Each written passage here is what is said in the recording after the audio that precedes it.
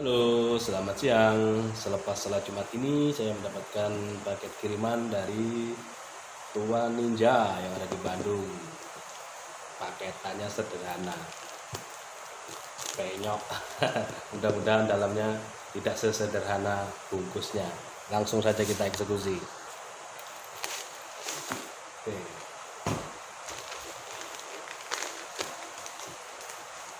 Masih aman karena dia dilapisi oleh plastik balon. Loading menunggu pembungkusnya dibuka. Iya ini dia.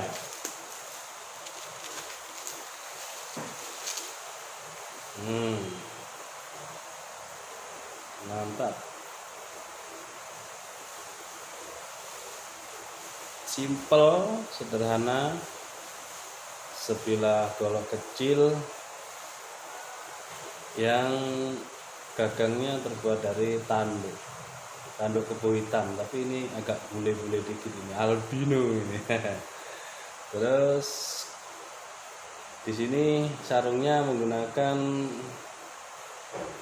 kayu johar kayu johar. Dengan aksesoris tanduk ini tanduknya. Ini tanduk. Yang ini juga tanduk ini dengan sini tanduk. Yang ini full tanduk ada pin di sini. Sekarang kita lihat dalamnya.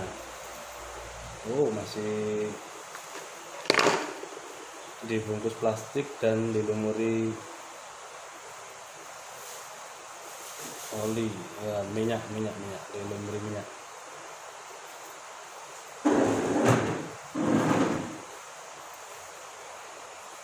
Oke ini baja yang terbuat dari bekas perdelman dengan panjang dia 21 cm lebarnya 2,5 cm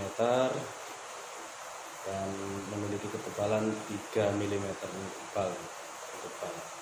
Itu disesuaikan dengan modelnya. Dia mengecil ini. Ya. Sekarang kita coba Gardelman biasanya tajam ya kurang begitu tajam kalau menurut saya.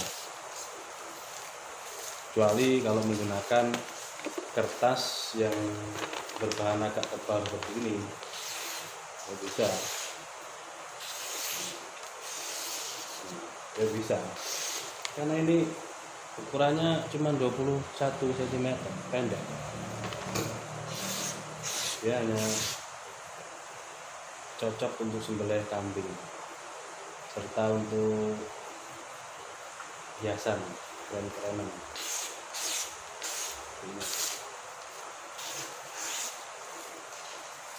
kalau untuk yang tipis-tipis seperti ini agak kesulitan apalagi untuk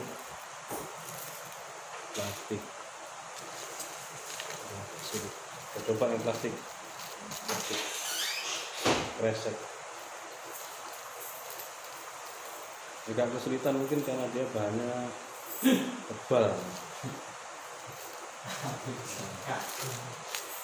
Sulit sulit. Ayo Pak, belum kota. nah, nah, ya. Lumayan tajam tajam ya. Hmm. Oke. Ini tanduk ini. Hmm. Ini. Ini kalau untuk sembelih bebek, ayam, unggas-unggasan cocok ini. Tapi kalau untuk kambing menurut saya kurang. Masih kurang tajam kalau menurut saya untuk kambing. Meskipun seperti ini, tapi harus tes selincing plastik. Jadi dia dia sementara tidak lulus tidak lolos. Meskipun seperti ini.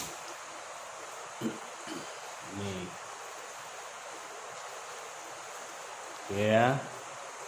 Saja review singkat dari saya tentang golok baja delman yang dikombinasikan dengan tanduk. Assalamualaikum